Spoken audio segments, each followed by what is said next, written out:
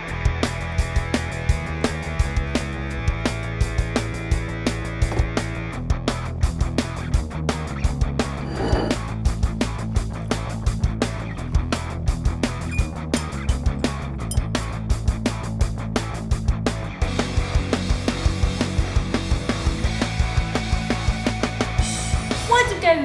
And Jim. Welcome back to another Meteorology Monday. Alright, today we are back at you with another Meteorologist Reacts. As you can see from the title, we are doing the long anticipated, what is it called, Cat 6 Day of Destructions Part 1 and 2. That's right. What a mouthful. and holy crap, it was like the longest video ever. it ended up being like four hours and change or something. Mm-hmm. But it was, uh, we have a lot of thoughts and opinions, and today we're going to share them and watch some clips, so stay tuned. But before we get started, don't forget to like and subscribe by clicking below. So that you never miss another Meteorology Monday. This first clip, I believe we've got the trailer. Thank you to whoever submitted the little Yes. links for us. Yes. We were able to watch it through links. I don't know where it actually is though, or if this was like released in theaters or like how this happened. So we don't have a ton of clips, but we have the trailer. We're gonna watch that first. But yeah, that's that's what we're gonna do first. That's right. Here we go.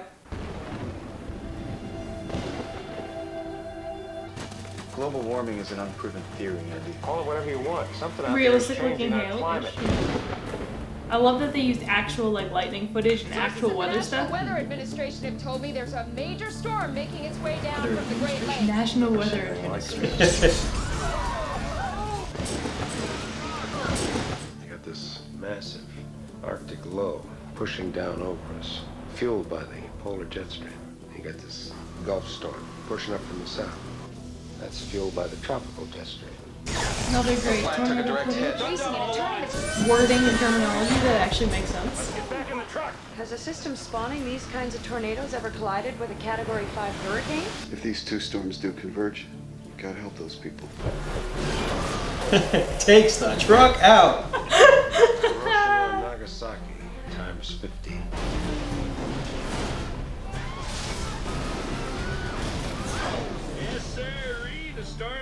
Storm gods are. I love that guy.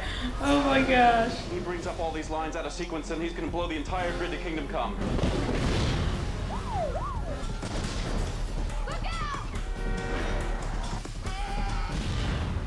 It's about civilization, whether or not we'll have one in 20 years.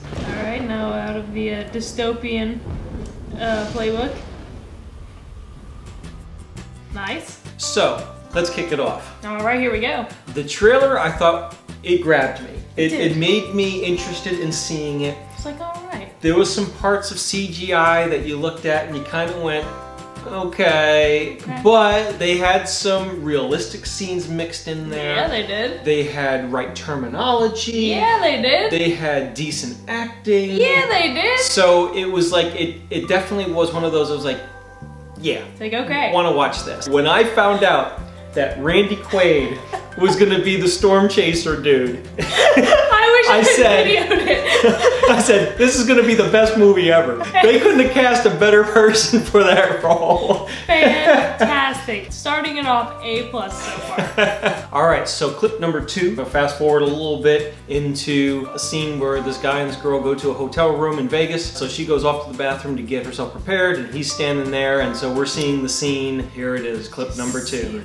Look out the window, guys. Always look out the window.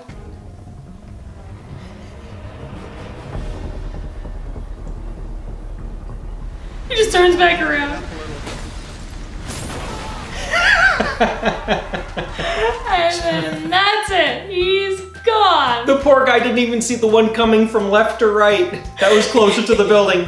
He's just kind of like, you better hurry it up a little bit. Don't mind that. He's gone. I forget what the movie was. It was in L.A. and oh, the whole side of the building is off, and then Yep, so the janitor is doing that, Oh, and it's all of a sudden it's like he opens up the door and there's nothing there. I kind of envision, you know, the girl coming out of the the bathroom to where'd the room go? Where'd the city go? Goodbye, Las Vegas. so if what happens in Vegas stays in Vegas, then does the debris also stay in Vegas? Mm. If you know the answer to that, comment below. Utter destruction.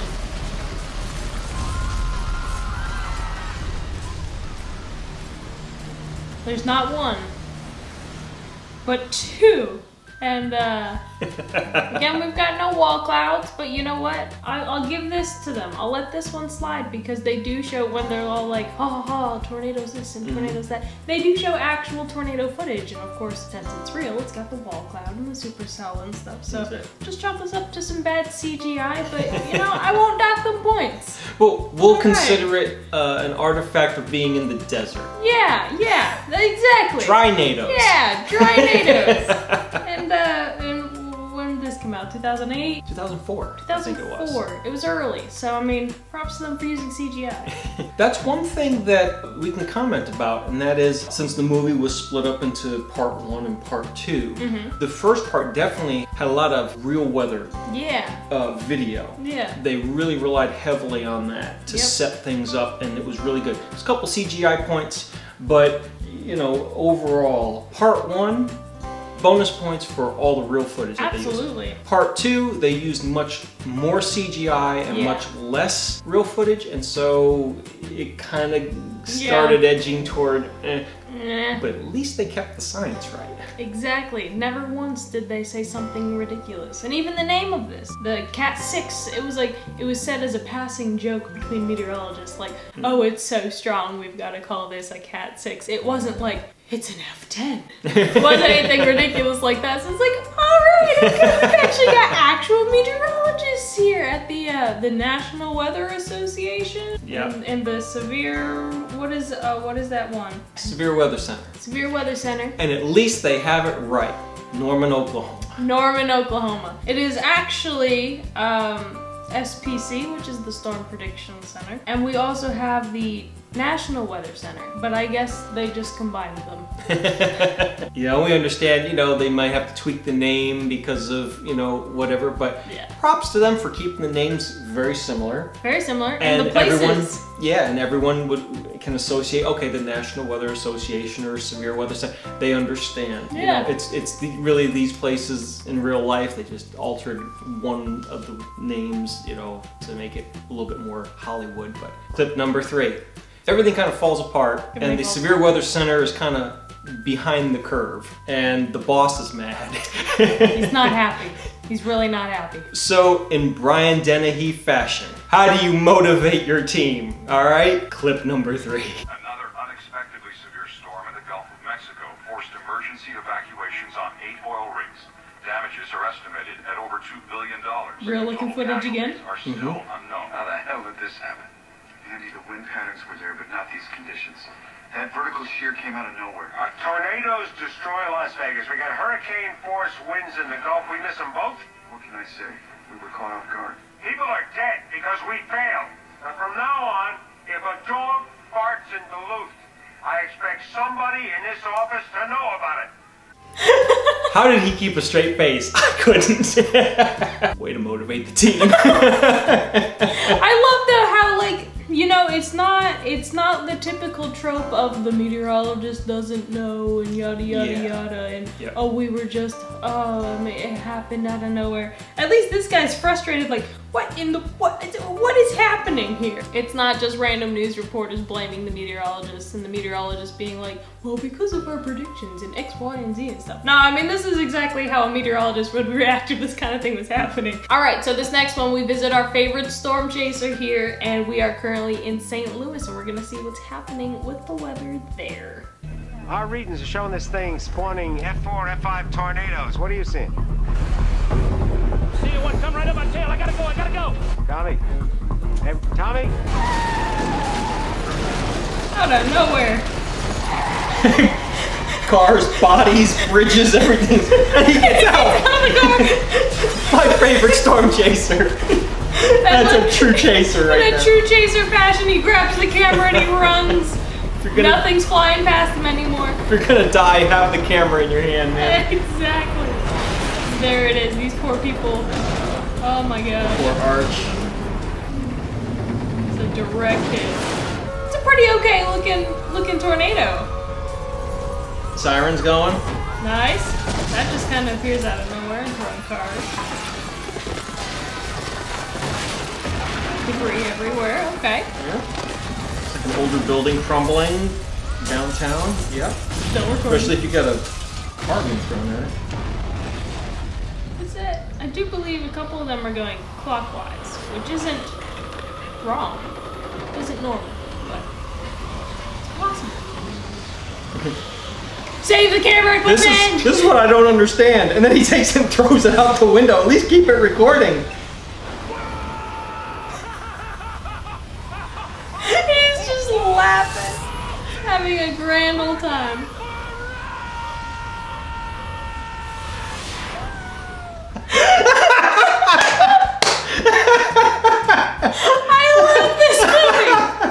Best storm chasing actor oh ever. Oh my gosh, that's it. Ever. That's it. Randy Quaid set the bar. There's no beating it. Bill Paxton, nope. Oh my man, gosh. that was okay. So let's break it Oh. down a little bit. Oh, so, wow. so you got tornadoes destroying St. Louis. You got definitely CGI and definitely some Hollywood going on there to, to get it all done. And Yep. you know, it doesn't look terrible. Maybe the rotation is clockwise versus counterclockwise, Yeah, but it's still, you know, gives you that feel Yeah. and uh,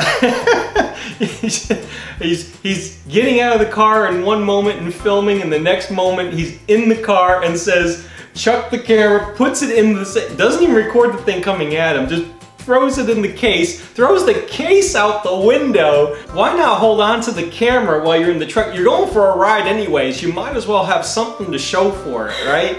Oh man. This guy's like, Well- hang on a second, hang on, hang on. Back this up, throw it out. we're gonna save it. oh my gosh, that Well- was oh Aces right there. fantastic. Way to go. Nothing you know, better. if you're if you're gonna go out, go out big, right? All right, I do have a list. I took some notes while we were watching the movie about some of the more like A plus parts or like F minus parts. so one thing I wanted to point out was that they said uh, it was like an F5, like the Oklahoma City tornado in '99. I thought that was a great reference Mhm. to an actual event. Yep. Because a lot of times they just skip over actual events in these movies and completely ignore them. It's like, wow, that, there was an F9 in 99. It was like this huge, memorable, like most powerful tornado in history that went through Moore, Oklahoma. It's like, mean, way to go! I mean F5, What did I say? F9. Uh, yeah, the F9 that went through Moore, Oklahoma. You're you know still thinking mean. of the 500 mile an hour storm. Scarred me for life. the F5 that went through Moore, Oklahoma. So I thought that was a good callback to an actual event. My uh, second favorite quote comes from him over here, who said, We are 30 minutes into the movie and I am not disgusted yet.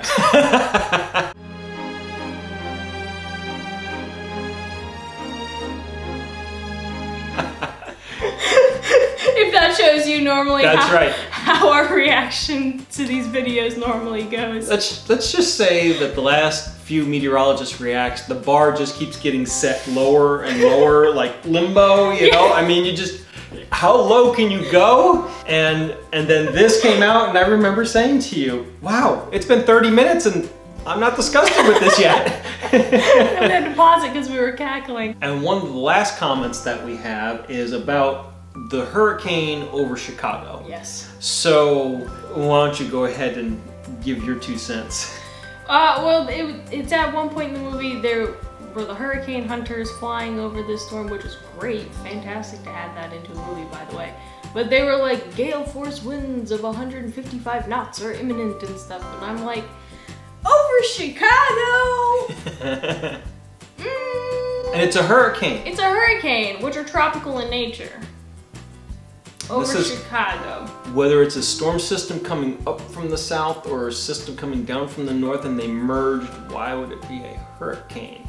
Correct. And it, should wasn't like be- it was screaming along at 300 miles an hour going from the Gulf straight to Chicago. You don't have a hurricane form over land. It just doesn't. That there were there was some. That was one thing that was like, Yeah. oh guys, really, like, you were you were ah, this close, This close, this close. this close. But in terms of the movie and what they were going for. Had they just said a huge storm or something like that, but the, but to categorize it as a hurricane, Yep. Chicago guys, Cat six over Chicago. Oh my! So There, there we go. That's just uh, that's a little snippet. Again, as we said, we couldn't find so many clips, but we'll leave the links below that were given to us. So if you guys want to watch it, you have it. that's right. And uh, yeah, that that there's a fantastic weather movie. It was again. It was like four plus hours. It was a long. It pop the popcorn for this one. It was a long ride, but I think as we said in the beginning, started off lots of like realistic footage and lots of building and world building and setting up the story and stuff. And then by the time we got to part two, it's a lot more CGI because it's like okay, well now there's a hurricane in Chicago and it's like Yeah. yeah. then it started getting a little bit on the ridiculous scale. Yeah, but overall, Yeah. I mean, they they always use the correct terminology Yep.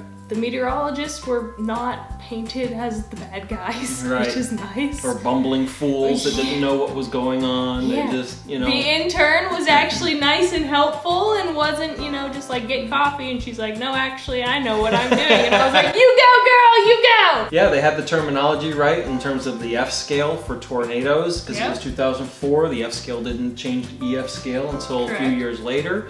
So good job for them. I think they probably had someone on staff that kept the meteorology pretty accurate. Sure sounds like it. So uh, it was pretty good. So now we're gonna move on to our big two, and that is is meteorological accuracy and entertainment value. First, meteorological accuracy. I think we've already hinted a bunch to it.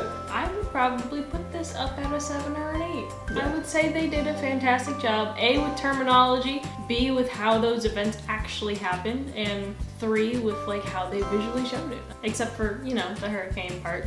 Eh, Did you see, like on the desk, they had the hand drawn with like the oil crayons of like the surface analysis maps, and it was actually of the storm system that they were talking about. Like even like the background detail. The grease pencils. Grease back in the day. it. Oh. So meteorological accuracy, yeah, I agree. About a seven or an eight. Well done. Now, how about Entertainment. entertainment value? As we said, 30 minutes in and I'm not discussing it. I'll put the entertainment value up there as well, probably like a 7. Yeah, yeah, definitely. It was um, a lot better than some of the other ones that we saw. Uh, yes. And I think they did a good job. They had uh, good actors in place. Yeah. It did. They didn't seem like they were out of their role. You know, something totally different that they weren't a good fit for. It made you feel like it was pretty realistic. Yep. I think Brian Dennehy did a great job as the as the lead person. You know, Randy Quaid did a great job as a storm chaser. They didn't make him goofy or anything like that. They just made him be very passionate about what he was doing. You know, it seemed like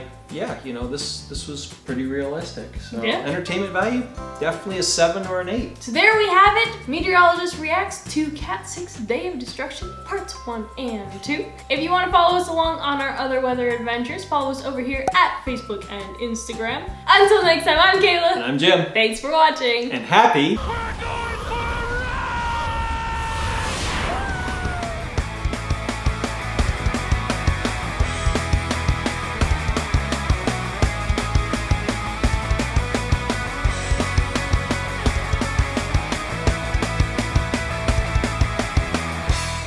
been a week. It is, it is. It's been a week of COVID.